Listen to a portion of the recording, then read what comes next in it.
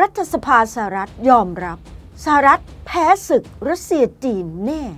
ฮือฮาน่าสนใจไม่น้อยนะคะ เมื่อสื่อสหรัฐออกมาปูดว่า คณะกันมาที่การทหารของรัฐสภาสหรัฐ พบว่าอุตสาหกรรมความพร้อม นวัตกรรม และเงินทุนที่ไม่เพียงพอ จะขัดขวางความสามารถของกองทัพสหรัฐ ในการเอาชนะในความขัดแย้งใหญ่ที่อาจเกิดขึ้นกับรัสเซียและจีนแม่ พูดแบบนี้ เพนตะก้อนก็หน้าแตกสิคะ เพราะเพิ่งชงของงบก้อนเบิ่ม จะไปลุยกับรัสเซียในยูเครน เพิ่งขอต่อมาหมาดๆเอง วันที่ 2 สิงหาคม 2567 สำนักข่าวรัสเซีย Today และ Axios รายงานจากรัฐสภาของสหรัฐ ระบุว่าสหรัฐยังไม่เตรียมพร้อมสำหรับสงครามที่อาจเกิดขึ้นกับศัตรูรายใหญ่ เนื่องจากกองทัพสหรัฐ ขาดทั้งขีดความสามารถและศักยภาพที่จำเป็นสำหรับการสู้รบ โอ้โห ยอมรับความจริงเฉยเลยนะคะทำไมข่าวถึงหลุดออกมา หรือตั้งใจให้หลุดคณะกรรมการที่ได้รับมอบหมายจากรัฐสภา ได้ตรวจสอบกลยุทธ์การป้องกันประเทศของสหรัฐ ได้เปิดเผยข้อบกพร่องสำคัญในความทะเยอทะยานของกระทรวงกลาโหมสหรัฐ ในการยับยั้งความขัดแย้งครั้งใหญ่ หรือการเอาชนะความขัดแย้งก็ตาม รายงานระบุอีกว่ารัสเซียและจีน เป็นภัยคุกคามที่ใหญ่ที่สุดต่อความมั่นคงแห่งชาติของสหรัฐ ตามเอกสาร 114 หน้า ที่เผยแพร่เมื่อวันจันทร์ กลยุทธ์การป้องกันประเทศของอเมริกา เขาใช้ตัวย่อนะคะว่า NDS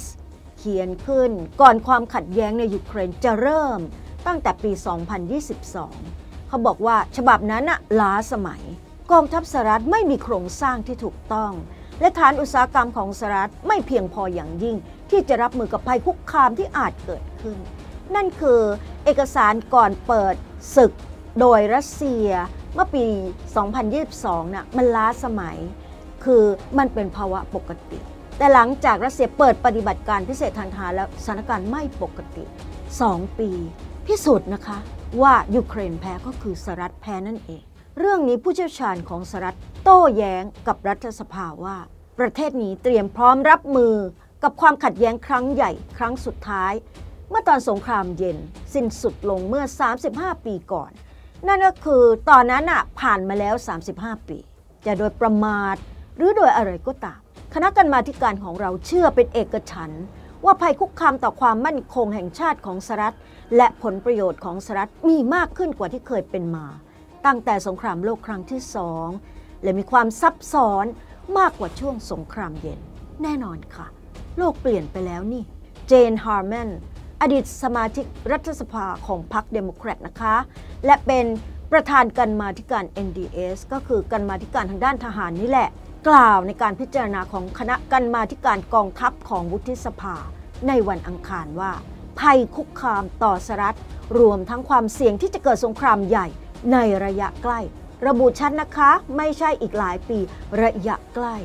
อย่างซับซ้อนจากการวางแนวทางการเมือง และการทหารที่เพิ่มมากขึ้น ระหว่างจีนรัสเซีย เกาหลีเหนือ และอิหร่าน นั่นคืออ่านเกมไม่ออก ในคำประกาศที่ได้รับการรับรองเมื่อเดือนที่แล้วในการประชุมสุดยอดนาโตนะคะเขาจัดขึ้นที่กรุงวอชิงตันดีซีนั่นแหละ กลุ่มประเทศที่นำโดยสหรัฐเขาต่างให้ข้อสรุปเลยนะคะ เรียกจีนว่า ผู้สนับสนุนอย่างเด็ดขาดในการทำสงครามกับยูเครนของรัสเซีย เป็นสำนวนฝรั่งนะคะนั่นแหละคือจีนหนุนรัสเซียรบยูเครนว่าะงั้นเถอะปักกิ่งระบุว่า เป็นคำกล่าวหาที่เต็มไปด้วยคำโกหก และอคติทั้งมอสโกและปักกิ่งต่างปฏิเสธ ข้อกล่าวหาของชาติตะวันตกที่ว่า จีนจะหาสินค้าที่ใช้ประโยชน์ได้สองทางให้กับรัสเซีย และสามารถนำไปใช้ในการผลิตอาวุธได้ คือตัวเองเป็นคนทำแบบนี้บ่อย ก็มองว่าคนอื่นก็ทำเหมือนกันคะแล้วก็ไม่เคยเชื่อว่าสิ่งที่รัสเซียพูด หรือไม่เคยเชื่อว่ารัสเซียพึ่งตนเองได้ ไม่เคยเชื่อว่าจีนนั้นพึ่งตนเองได้เช่นกัน เอกสารยังระบุอีกว่าสหรัฐควรสันนิษฐานว่า หากเกิดความขัดแย้งโดยตรง ระหว่างรัสเซียจีนอิหร่านหรือเกาหลีเหนือ ประเทศเหล่านั้นจะได้รับประโยชน์ จากความช่วยเหลือทางเศรษฐกิจและการหารจากประเทศอื่น ๆ นั่นคือถ้าสหรัฐ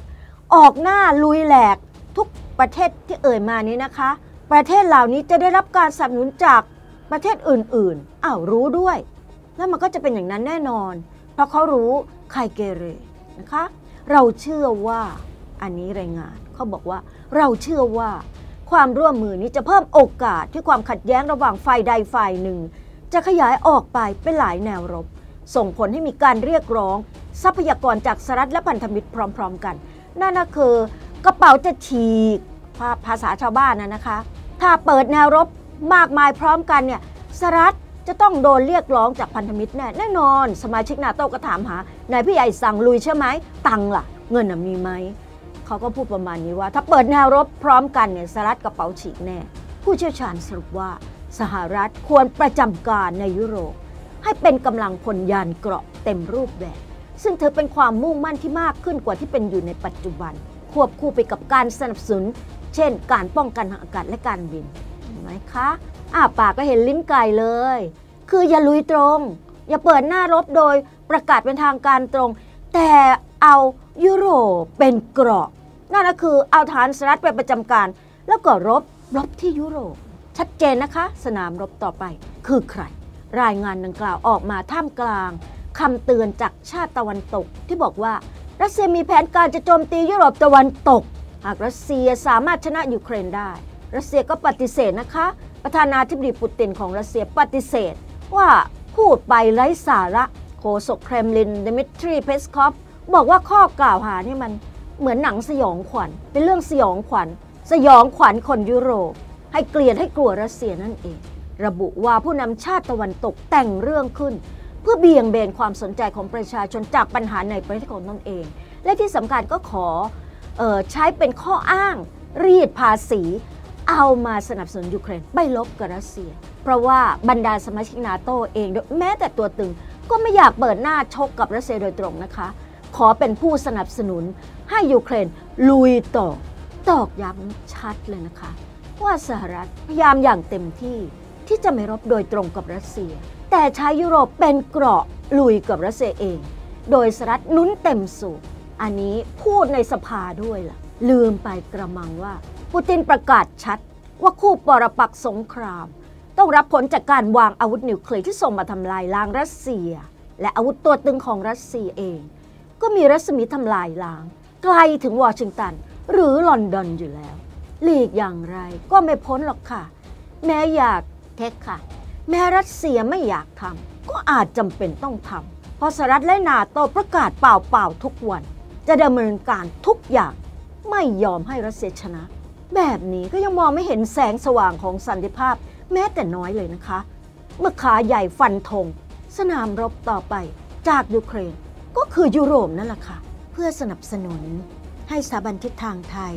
ได้มีโอกาสทำงานรับใช้ประเทศชาติ และประชาชนไทยอย่างต่อเนื่อง ขอเชิญ ท่านผู้มีจิตศรัทธา